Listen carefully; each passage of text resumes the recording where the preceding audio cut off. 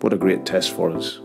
A great test to to come up against a, a top team with, with, top players, and um, yeah, I'm uh, I'm looking forward to seeing that. And, and, as I said, I'm you know I'm very relaxed but focused in that we can get the get a result that, uh, as I said, can build on the first game's result.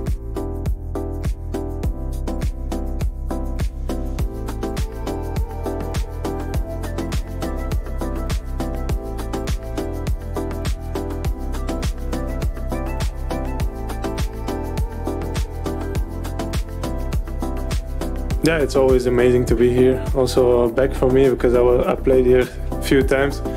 Um, but no, it's it's amazing to be to be here. It's an amazing stadium, so it's going to be nice tomorrow. The atmosphere will be there, so um, they're all positive points uh, to come here and play here and perform good.